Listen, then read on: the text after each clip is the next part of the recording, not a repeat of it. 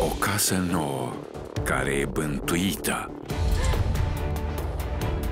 Fata trebuie să înfrunte singură asta, fiindcă tatăl nu crede în fantome.